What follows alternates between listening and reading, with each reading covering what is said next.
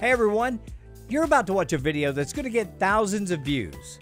Very cool, but your ad needs to be right here. Give me a call.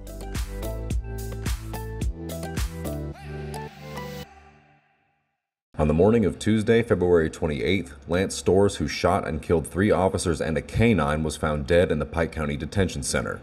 Following an investigation by Pikeville PD and Kentucky State Police, Pike County Coroner Kevin Hall tells Mountaintop News that his death has officially been ruled a suicide.